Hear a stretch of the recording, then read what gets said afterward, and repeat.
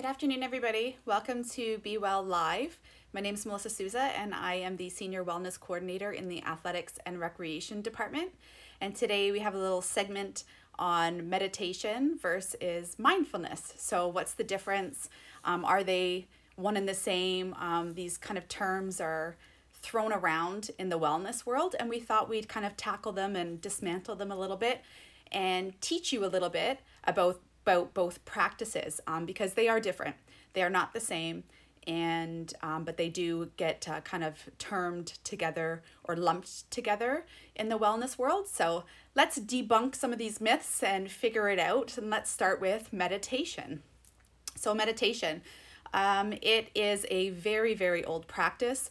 Um, the first, um, I guess, scriptures or writings on meditation were 1700 uh, BC, and um, they were found in the Vedas, were actually um, are scriptures in um, Hinduism. So, um, very very old.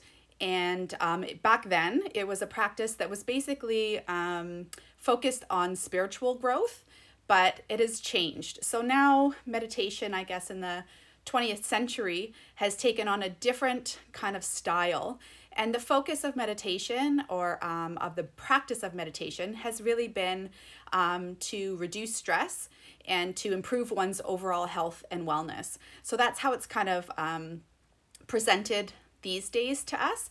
And I thought that we would kind of walk through um, a meditation practice that I do on my own. So I'm here I am. I'm on my meditation um, pillows. You don't need a meditation pillow to meditate, by the way.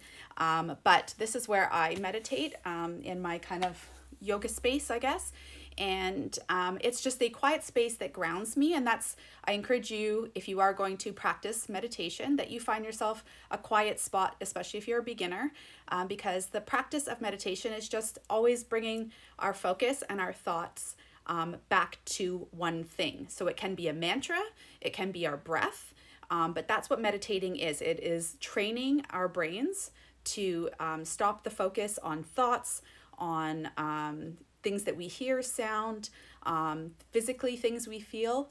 Um, so a lot of times in meditation, you start to feel like your back starts to get sore. So it's not focusing on those types of uh, feelings or thoughts. Um, surroundings. It's about focusing on bringing our thoughts and our mind, training it to come back to present, our breath, a mantra, something, and that's what it is. It's it's a continual um, push and pull with our thoughts to bring it back. So um, something that I do is um, I typically actually, I wasn't going to do this, but I may as well. Um, I like to use oils. So um, I've read that with meditation, if you uh, give yourself, your brain a little kickstart at the beginning. So it's like a ritual. And I put an oil on my uh, wrists first and I kind of rub it into the back of my neck as well. My neck, I only have one. Um, and it's for um, to train your brain to know that it's about to start um, something. And when if you use the same oil and the same scent, your brain knows to like start to quiet. We're gonna meditate. I can smell that same smell. You start to feel like your body's grounding, like everything's slowing down, and you're settling in for meditation practice. So it can be a very short practice to start. You can still reap the benefits, which we'll talk about in a second um, if you just do five minutes a day. So my suggestion is to wake up a little bit earlier each day. See if you can set your alarm even 10 minutes before. Um, try to get a five to 10 minute meditation practice and it can look like this. You can start with your oils and you can either do a mantra or you can focus on breath. Those are the easier ones to start. And um, you can say something, a mantra can be very simple and it's um, guided by your breath. So as you breathe in, inhale, and you can say something like I, and then on your exhale, am. You can say something like I, inhale, exhale, belong. So every time that you have your eyes, when your eyes are closed and every inhale and exhale, you would say the same mantra to yourself I belong with exhale. So your breath would go in and exhale. And you don't have to say a mantra to yourself at all. You can just focus on your breath.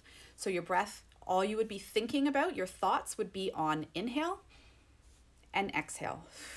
You do not have to close your eyes. It doesn't have to look this a certain way. You can sit on your couch.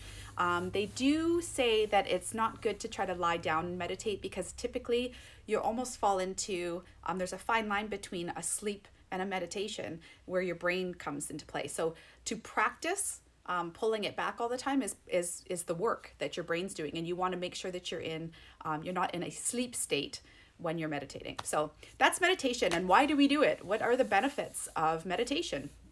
So uh, improved concentration uh, relaxes our mind. Um, it aids in processing our emotions, and that kind of goes into mindfulness, and we'll get into that. Um, it also lowers our stress hormone, which is cortisol. And um, actually, studies prove that uh, students who practice uh, mindful meditation actually achieve better grades, which makes sense because you have improved concentration and um, relaxation of the mind when after you meditate, um, and it actually continues on throughout your day. So it that single practice in the morning and practicing each day um, helps you throughout the day with all of those things. So why not try it, especially if it's only five to 10 minutes to start um, and see if you can work your way up to about 20 minutes a day. Um, I'm still at about eight minutes. So uh, before my brain and I, I'm just done. So it's a practice and it's, it's um, learning to, again, bring your mind back. So that's meditation. What is mindfulness then? What is mindfulness? Uh, mindfulness is actually a state of mind. So it's not necessarily a practice, though it can be. Um, it is being aware of every single present moment. So it's being in the here and now fully. Um, and it doesn't mean that that needs to be seated or um, through a mantra. It is not a practice per se, again. Um, it's more a way of life, if you will, um, living a mindful life. So it's, um, it can be achieved, um, this state of mind, through the practice of meditation. But again, it is more a, a way of life. So what is a mindfulness practice? So a mindfulness practice was is where you would focus on the four fundamentals of mindfulness. So um, the observation of um, the physical being, um, of our feelings. Um, so you know whether we feel like they are, um, sorry, I just have trying to, so whether it was a pleasant, that's what I wrote, pleasant. Um, whether it's a pleasant experience, unpleasant, whether we're neutral in that thought. Um, I wanted to make sure I got that right for you guys. Um, and one of the other things that we would observe in mindfulness is the mind, um, the observation of our mind, so our moods and our emotions. And then the fourth fundamental is our thought. So it could be something as simple as I don't have that with me right now, but say it was a cup of tea.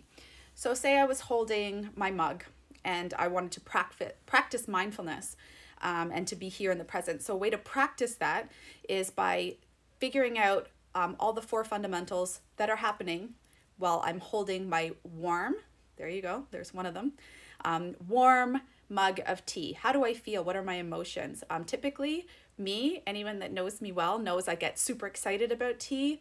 I love tea, so it brings me happiness, brings me joy. It is definitely a pleasant um, feeling. It is physically warm to the touch, um, physically warm as it enters my body. Um, the taste is usually um, a little bit sweet because I like to put some honey in my tea. Um, it is something that always reminds me of um, my family and growing up and my English Nana, which are all warm and fuzzy thoughts for me. So everything about drinking tea brings me joy um, and uh, warmth and uh, again is, is a is a peaceful ritual for me. So that's if I sat down with my cup of tea and I really thought about my tea and thought and practiced a mindful um, thinking, that's what I would be thinking about while I drink my tea. And you can practice that through whatever you're doing throughout the day, whether that's that you're studying, what are you holding? How does it feel to hold a pen? How does it feel to um, click a mouse? What's the sounds that you're hearing? Um, are you physically triggered by those sounds? And again, it's training yourself um, on those feelings and thoughts. And it's about it's about a, a reaction. So when you when you slow things down and you become mindful, um, the benefits of this is that we can move through our emotions. So as I mentioned, the benefits of meditation are the same too. Um, it helps us practice to slow things down, to listen to our thoughts, and then our reaction is different. So a lot of people think that mindfulness or living a mindful life means that you um, you're no longer an angry person per se, or you don't feel those emotions. Um, anxiety and stress don't necessarily um, are are not emotions or feelings that you feel anymore, and that's not true. You still feel those emotions. It's your reaction to those emotions. So you stop, you slow everything down. Instead of reacting quickly and lashing out on on somebody or something in anger, what you would do is let that emotion move through you. You would move through it with more mindfulness. Um, you would maybe think about that that thing or whatever happened that's making you angry and you'd be able to um, look at the greater world and be able to say maybe it's not such a big deal. Um, and you'd be able to move through that practice and that thought practice um, a lot quicker the more you practice mindfulness and meditation. So um, maybe it's something again like you would you would um, compare it to something else within um, the greater um, world and be able to, to minimize um, what it actually is and and how it actually affects your life. And so your reaction would change. So again you're not not feeling those things. You're feeling them but you're moving through them differently. So that's the practice of mindfulness and that is one of the huge benefits of it is um, our reaction can change and that's really really powerful i think for especially um, emotions such as anger um, frustration um, feeling things like anxiety. Um, it does help with all of those things, as you can probably see. If you practice these things each day, um, we'd be able to move through them with ease, I think, in our lives. So, um, once again, um, our mindfulness is not the same as meditation. Um, it's just one technique that can be used to achieve mindfulness, but it's not the only uh, technique. There's many out there, um, but that's just one of them, the one that we kind of just practice there together, hopefully. Um, and our goal for both living a mindful life and or practicing meditation are one and the same i believe and that's to achieve some calm and clarity. So hopefully if you practice um, or begin to practice that you too will achieve some calm and clarity in your life. You can join us on monday. We're actually starting our five days of wellness next week. It's our wellness week. And on monday uh, 10 30 a.m right here on our instagram channel here on uh, the Seneca Sting. You can join us. Uh, we've got a gratitude morning meditation with Cheryl Mitri uh, from our counseling and accessibilities department at Seneca College, and she's going to do a guided practice. So it's a wonderful way um, if you're a beginner and you're curious about meditation. Guided meditation is another practice where, um, if you're not sure about whether you would like or would benefit from a mantra style um, meditation or whether it would be um, something that would benefit you better better to do a breath style meditation a guided meditation is even better because um, she will explain to you how your body should feel she'll she'll talk you through um, bringing your thoughts back and um, again we'll be talking about gratitude because that is our first um, day of our five days of wellness is on gratitude so Join us each day next week. We've got um, a great lineup for our Wellness Week. I hope that you all stay safe and be well. Take good care.